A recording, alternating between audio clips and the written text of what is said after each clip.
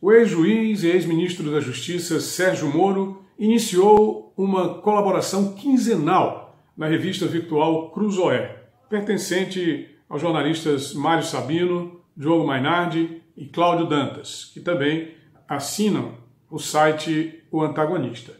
O ex-juiz, agora articulista, ele tratou no seu primeiro artigo sobre uh, a importância das Forças Armadas, uh, o papel que elas exercem na democracia e, claro, o fortalecimento da democracia que nós temos vivenciado ao longo dos últimos anos, o papel da, do, do próprio Exército, Marinha, Aeronáutica nesse mistério de garantir o fortalecimento da, da democracia. O ministro ele não tratou é, em profundidade é, sobre a questão das Forças Armadas, porque eu esperava, inclusive, que ele falasse sobre o artigo 142, que vem sendo utilizado por muita gente, até desconhecendo o, o artigo, né, o que ele efetivamente diz da Constituição Federal, no tocante ao papel das Forças Armadas.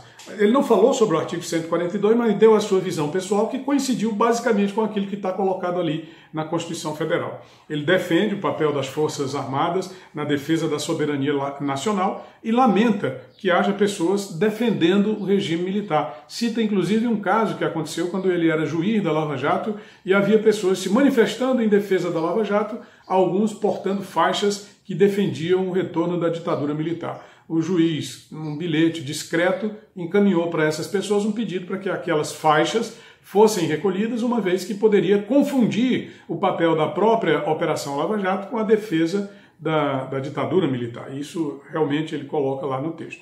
Ele fala, explicando que o regime militar é o mesmo que ditadura, porque suprime as liberdades chamadas democráticas, tipo é, fim do direito ao voto, a livre expressão, acaba com a livre expressão, a livre circulação de pessoas, são, as pessoas são monitoradas, o governo da ditadura pode implementar a qualquer momento, bastando para tanto que deseje, pode implementar um toque de recolher. Então, suprime também a livre circulação de pessoas pelas ruas, pelas praças, pelas avenidas, a extinção dos partidos políticos. Nós tivemos um regime militar no Brasil onde dois havia nenhum partido. Foi um governo, partido de um governo um momento de um governo só onde não havia partidos, que foi o período do Estado Novo. E durante a ditadura militar, nós tivemos apenas dois partidos, que foi a Arena, o partido do governo, e o MDB, que fazia uma oposição consentida, quer dizer, uma oposição censurada pelo próprio governo.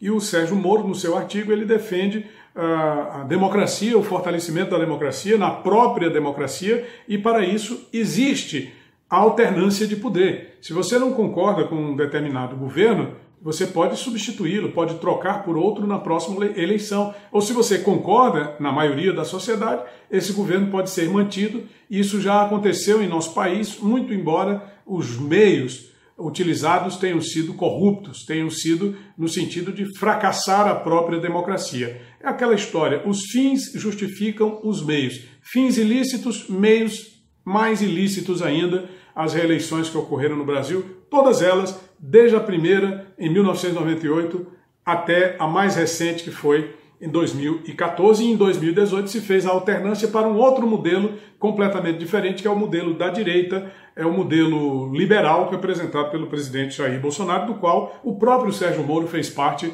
na condição de ministro da Justiça o, o, o ex-ministro, ele lembra que os militares são importantes na história do Brasil. Ele faz, inclusive, alusão a vários episódios que muita gente ignora quando quer criticar as Forças Armadas, e é isso também que a gente faz um questionamento aqui. Por que só criticar as Forças Armadas? Nós tivemos um papel brilhante em diversos momentos da história do Brasil, que é bem lembrado pelo ministro Sérgio Moro. Por exemplo, a Batalha de Guararapes, a Batalha Naval do Riachuelo durante a Guerra do Paraguai, a tomada de Monte Castelo durante a Segunda Guerra Mundial, a atuação da FAB no dia 22 de abril de 1945, quando realmente se deu o, o, o fim da guerra e para os brasileiros, porque nós fomos vitoriosos em todas as campanhas que empreendemos na, no front da Itália E, e, pouca gente fala sobre isso. As pessoas só querem se lembrar, ah, mas porque as Forças Armadas torturaram. As Forças Armadas lutaram pela nossa democracia quando depuseram o Estado Novo e reinstituíram no Brasil um sistema democrático em 1945. Quer dizer, tem o período da ditadura militar, mas os ganhos para a democracia atribuídos pelos militares são maiores, certamente, do que aqueles que nos foram subtraídos ao longo dos 21 anos da ditadura militar. O ministro diz, inclusive, que esses episódios que ele relata lá no seu texto, para a revista Cruzoé, no artigo eh, mais recente agora, né, desta última sexta-feira, resumem alguns dos melhores momentos da história de nossas Forças Armadas e do próprio Brasil. Na prática, o que ele quer dizer é o seguinte: não cabe defender a volta de uma ditadura. A democracia deve ser fortalecida, deve ser valorizada no sentido de defender a própria democracia. E se houver a necessidade de mudança, que isso se faça pelos meios diretos do voto previstos na própria Constituição, alternância de poder.